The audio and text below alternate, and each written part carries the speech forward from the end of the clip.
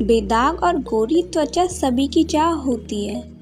लेकिन आज की लाइफस्टाइल और धूल मिट्टी से हमारे स्किन पे एक्ने टैनिंग डल स्किन जैसी प्रॉब्लम हो जाती है। आज मैं स्किन को ग्लोइंग बनाने के लिए एक होम रेमेडी लेके आई हूँ, जिससे आपकी स्किन ग्लोइंग और खूबसूरत हो जाएगी। वीडियो अच्छी लगे तो लाइक ज़रूर करें। इसके लिए आपको चाहिए चावल का आटा। अब कच्चे चावल को मिक्सी में पीसकर इसका आटा बना लें।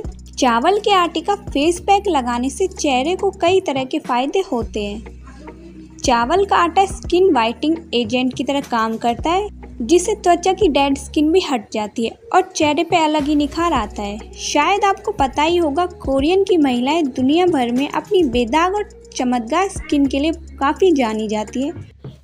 कोरियन के लोग ज़्यादातर चावल से बने प्रोडक्टों का इस्तेमाल करते हैं। चावल के आटे से बने फेस पैक से स्किन पर मुहासे जैसी प्रॉब्लम दूर हो जाती है। इसके लिए आपको चाहिए चावल का आटा।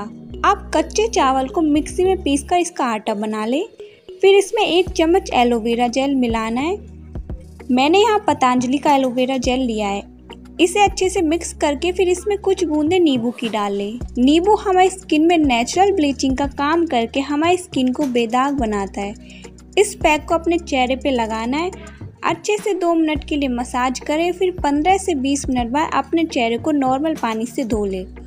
ध्यान रहे, इस पैक को इस्तेमाल करने के बाद आप फेस वॉश का यूज़ ना करें। इस पैक का इस्तेमाल आप हफ़्ते में एक बार ज़रूर करें। यह पैक आपकी स्किन में अलग ही चमक और निखार लेकर आएगा। तो फ्रेंड्स ये थी आज की मेरी रेमेडी आई होप आपको मेरी वीडियो पसंद आई होगी. मेरी वीडियो अगर आपको पसंद आई तो लाइक ज़रूर करें.